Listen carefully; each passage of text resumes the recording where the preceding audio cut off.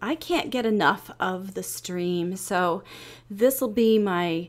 Um, well, I went through it the second time just on different songs, but this will be my next time going through actually doing a end of stream commentary because now I can look around a little bit more. I can look at Islander's Arms, a lot of the details that they put into this, and things that maybe I didn't quite catch before. When Saturday night, when this went off, that was the night I had my ticket. Um, I was on the Discord and I was toggling back and forth with the Nightwish Army. Um, I have never in my I mean, I, I think about it and I'm going to cry. I just, you guys have no idea. Yes, you do. Yes, you do have an idea. Um, I have never seen something like this happen before where so many came together in one moment in time. And that moment was bright and it was shining. And it was due to the muse of song. And it's been here since the beginning of time. And and it, it's that moment. We truly and it's that kind of healing moment in time we need in this world. And i think that's what you know i'm one of those people that are a dreamer and i can see these things and so can everyone else i know you did um, but that said i'm gonna try not to uh, get too upset here i'm not upset trust me it's just the beauty of the moment needs to be shown. And it just goes to show the power and how everyone forgot about everything in the world in that moment.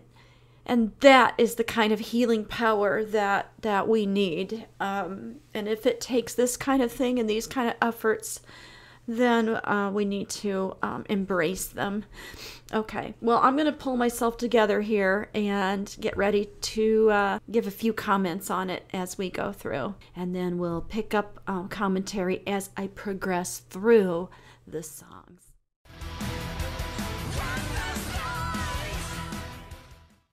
I just finished Noise again, and I have to admit, the more I listen to this song, the more I like it. Uh, some of Thomas's facial expressions in this song were really wonderful. Floor, top, form, vocals, spot on. Um, and Troy, oh my gosh, he's just doing so well. Um, I did go get a box of tissues because I have a tendency to cry. Um, backing up, I never realized um, as I go through how I would ever come to a place where I would have such a connection with a group. Um, never really thought that would happen. And honestly, it's just the poetic connection is so strong. And and I know it happens to everybody. It's because they do, they have such a magic that they they have. And the bass player, I mean, very wonderful. And I'm, um, I know we miss Marco, we miss his vocals, but I did want to say that Floor's long note at the end, spectacular, and we'll just keep going in little uh, segments like this. Like I said, this is the end of stream commentary. I it, it ends in so many hours for me, and just promote this uh, because it is absolutely phenomenal what they have pulled off. Planet Hell. Uh, lava lakes, fires going up Islander's arms. The vocals for Floor, I really loved. Uh, Save Yourself a Penny for the Ferryman. Wouldn't Anne Waychoff have been so impressed to be able to see this? I thought of her yesterday. Um, how wonderful, how she wanted to see Nightwish again so much. And this was right here in front of you, and it's so much you know, you see everybody up close and and I just love the way they're looking at each other, the the expressions. Thomas was keyboarding there in Planet Hell where he was just going all over those notes, uh, dancing around them. I just thought of Anne and I just, you know, it's too bad that she didn't you know, couldn't have seen this, but maybe she has in that meadow of heaven for sure. I'm going to move on to the next song and do, like I said, in just little segments, a little bit of a impression as I go through. And I'm sure a lot of you share, will share and have shared the same sentiments um, as we go through these. So, anyway, I'm going to wrap this up and move on to the next song. Don't you think that we all have become the music of an alpenglow? That is one of my favorite songs. And the first one I noticed was Thomas had a little facial expression of an almost oops or near miss moment, maybe on the keyboard. And I thought it was absolutely precious. Visually speaking, I really enjoyed the spinning cymbals and gears. Um, and and the uh, hands of clocks on both the ceiling and the floor. I really enjoyed all their smiles and and Pooh's up close guitar work. Also, Troy and Pooh when they were guitaring together. I thought that was really, really nice. I think Thomas singing is wonderful. Um, even though, you know, we can't hear him. I really enjoy also, I've noticed in Pooh looking at Jukka and, and, and the connection that they had going into this. I just thought it was really powerful. We were here. Yes, we were here. Élan, I almost forgot to mute it. You almost heard it. Of course, we've all heard the song, right? At the end of the other one, A Winter is Coming, I love the fact that Floor had these little, you know, small things or comments in between. I kind of wish there were more of them, but that's my personal opinion. Um, I thought the chorus on Élan sounded really good. Personally, I do miss Marco's sound, and I'm sure I'm not the only one, but I really thought Troy stepped up in a very wonderful way, especially toward the end when he put the um, his the the pipe down and just was there, present and and singing um, in the harmony, which was really great. Uh, lyrics are are beautiful. Um, love Floor's engagement with her facial expressions as well, like calm and, and just neat little things like that. Also, at the key change, I thought that was really neat. Now, during this song, I had a chance to kind of look around a little bit more toward the background. I realized the tree is changing colors from blue to purple, and the books behind and all the details that are actually there and some of the glows of the candlelight underneath certain items, which is just amazing. So anyway, I'm going to move on to the next song. It's just a pleasure to be able to share this end of stream commentary. It's just so much to um, learn from. Love the snow, love the falling snow. And if they put this out on a DVD, I will buy it. Wrap this one up, on to the next. It's time for a little story. Next song up, her expressions are really cool. I love the jam in this as far as the intensity of it. I also really love the fact that Emppu was singing. Um, but yeah, let's just see. Some of Floor's uh, expressions are just crazy, you know, and of course she does her windmill stuff. Uh, Thomas, he's trying to keep his hat on during this song. Everything about her her these things that she does and, and this and this and this and she's doing this. Anyway, let's move on to the next. So the next song in the lineup is from the new album, How's the Heart. I can remember when I first heard this, uh, doing a reaction to it. As I'm listening to it again, I love the way that they've done this and the sound. Troy's voice coming through on the harmonies are great. What stood out to me during this section, truthfully, was the fact that Troy had his eyes closed the entire time playing that bagpipe thing, and I'm assuming it's a bagpipe, I'm not even sure. But um, it just goes to show just respect for the amount of time that he put into it. Um, I love the part where she talked about um, you know, in the lyrics, let's see, it says, um, this one who came from me. And, and I could see it in Flora's eyes, the love that was there. Earlier on, of course, you know, I like that Celtic vibe that he gave it. I'm, you know, right about right now, I'm noticing they're starting to break a sweat and Pooh anyway, but he's off visiting other people and he visited Kai during this relevant song and it's one that means something. How is the heart? You know, do we ever wonder you know think and and these are the things that that he comes up with um, and they they express this um, i just find it just amazing but commentary um, on the final hours of my um, stream so closing now at two minutes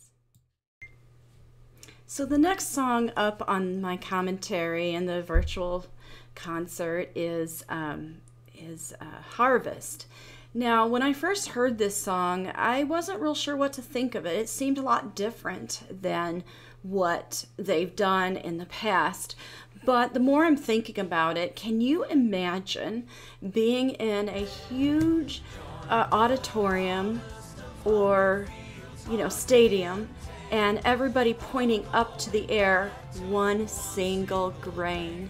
The power that that moment will hold will be absolutely amazing. But the organic sound and the drum beats with the vocals, nothing else, just that. I thought that that really brought, like I said, that very organic sound to it. Uh, it's very much laying a foundation for which to build upon, and they do. Things I noticed um, Thomas had a very pleasing smile on his face during one of the sections. Uh, Floor smiled to Troy as she actually moved off stage for a brief moment. Once again, uh, Troy's eyes completely closed during the time that he's playing that um, pipe and whatever that is. Sorry, I don't know those kind of instruments. The gold um, um, statue with that bird on it, actually the bird's like lifted its wings and stretched its wings and and uh, folded itself back up, which I thought was really really neat. Jukka's jam looked so relaxed and fun as well. So anyway, there's a little bit about Harvest, and I'll move on to the next song on commentary. So the next song up was Dark Chest of Wonders. I've not heard that song a lot. I really like the um, when it goes toward the end, when it goes into more of a chorus. What was very notable about this particular performance is uh, the way Emppu went to visit Jukka. And and I love the way that they had that interaction there during this song. He's pretty good at visiting everybody, um, but that was really notable uh, the candles floating. Everybody realizes that reminds us of the Harry Potter movies when the candles fell down and floated. That one, however, I'm going to say this. Um, I love the fact that Emppu finally got his little whammy in, and he knew it. He was pleased with himself. His eyebrows went up, and he was looking at somebody that was probably in the camera crew um, looking on and and it's like a, a little pleasure you know thing that yes i did it and i got it in. Haha this is the neat thing about this particular format is you can see up close especially when they get these cameras going in you know like Emppu's um, you know close up of the guitar or or kai you know he's over there on the drums with his eyes closed, doing everything. Uh, of course, um, Floor with all of her facial expressions and the pleasure coming from Tuomas's face, you know, when he's um, enjoying playing these songs. Um, and he's so, you know, they're masters at what they do. So, anyway, that was that song, and we'll go on to the next. We're about halfway through already.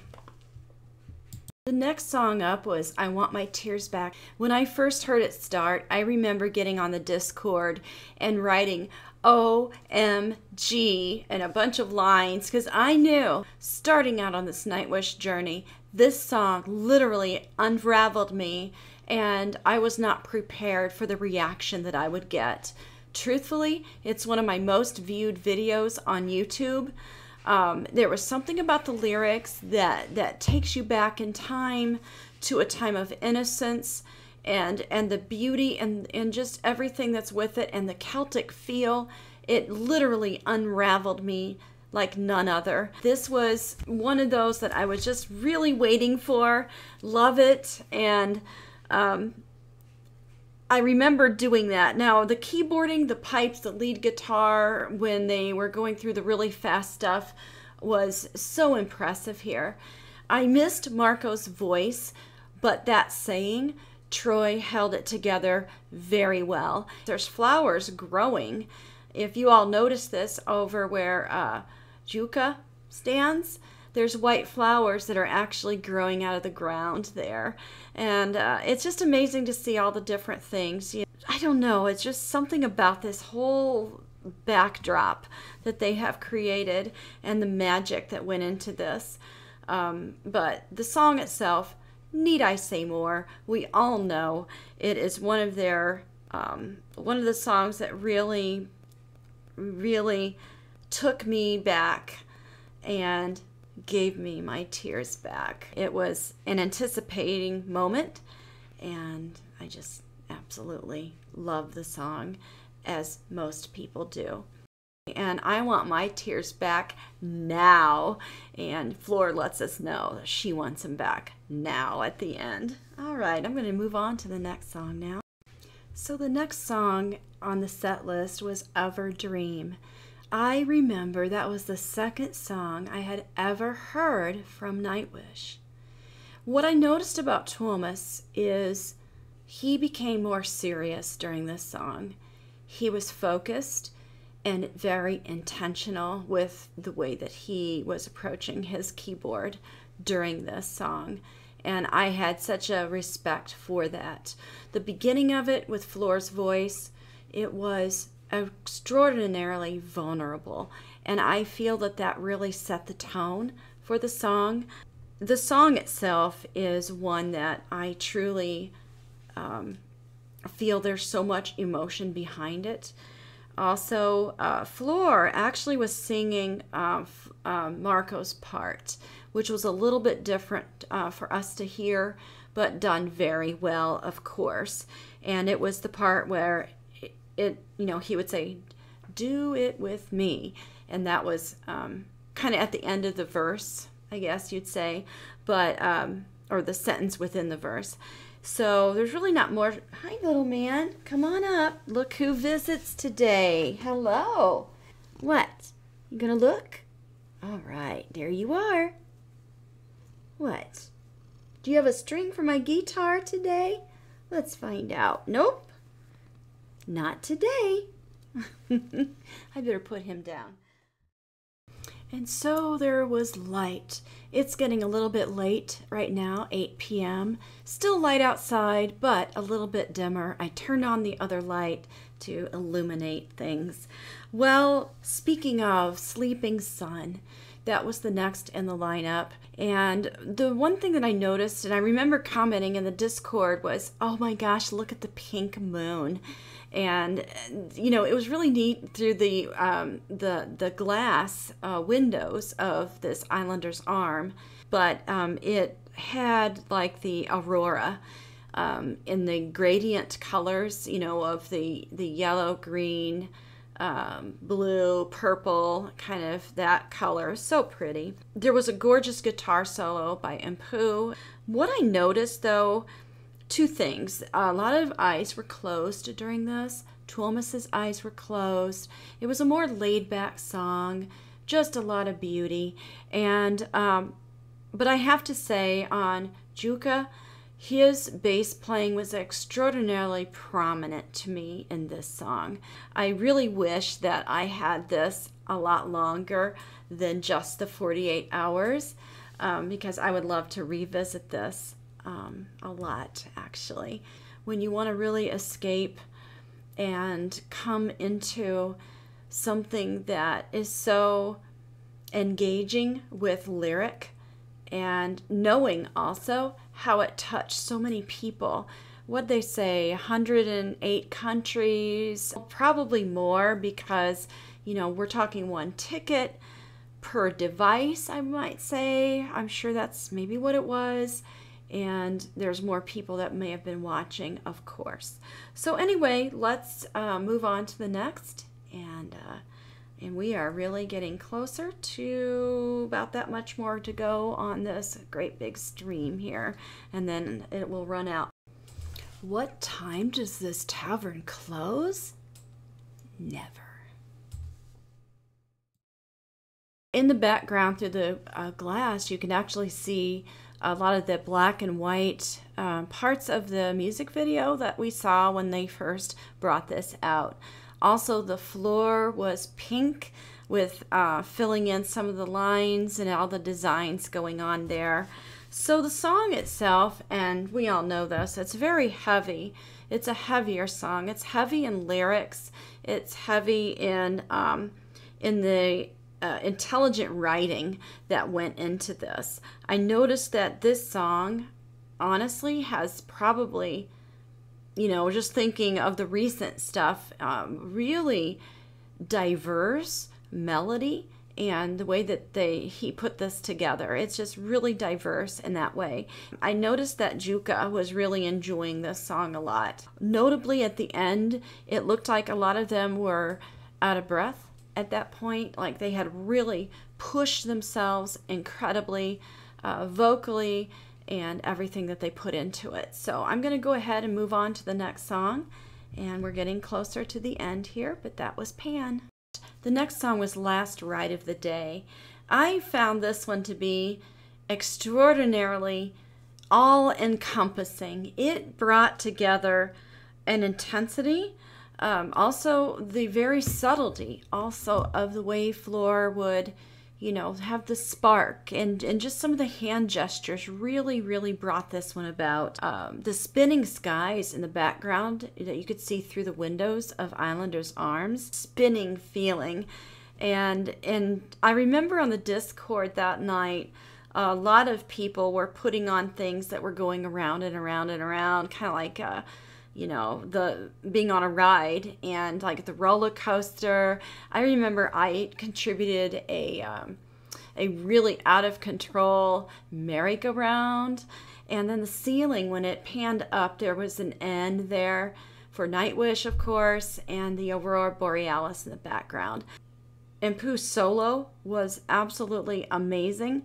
And this was a real high intensity song Okay, well, I'm going to move on to the next one.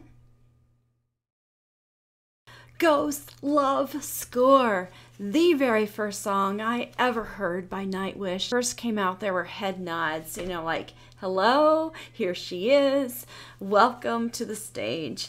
But I knew that night of the Discord was just about ready to explode, especially during, during the. Um, the part ramping up to the belting note, which, in my opinion, was one of her most clear and um, outstanding belting that I have heard from her during this song. It was incredible.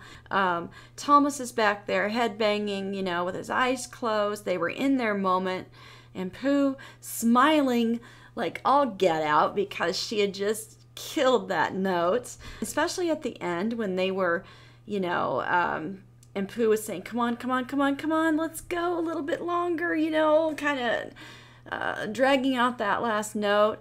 Kai throws a stick in the air, comes down and catches it, and they're done. I'm gonna go ahead and move on. This is the greatest show on earth. Greatest show on earth.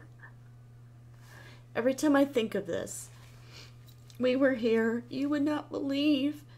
The Discord was just flying in. Everyone just was saying the same thing over and over and over. And it took us by storm. This moment in time took us by storm. I kid you not. Every time I get to this part, I lose it. And I don't know about being vulnerable like this. But the world needs more of it. And, uh, I'm gonna tell you, I've never witnessed anything like it before.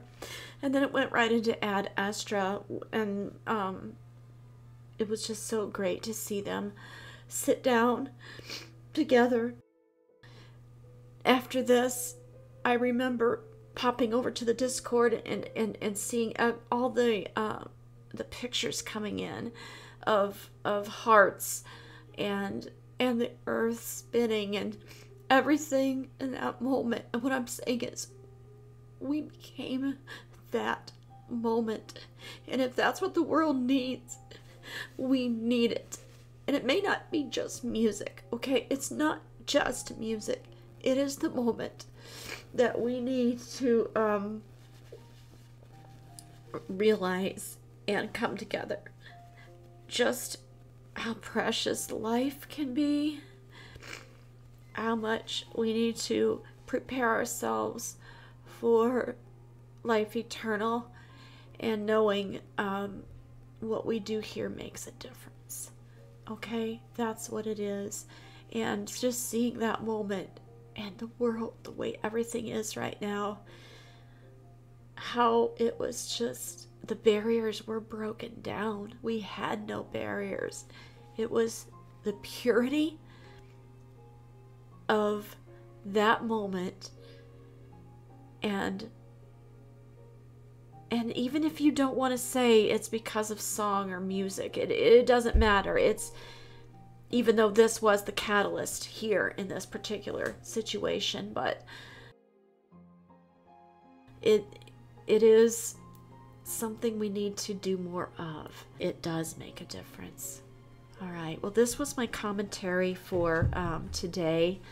Um, my end of stream it should be done about right now anyway. I might have a few more minutes left on it.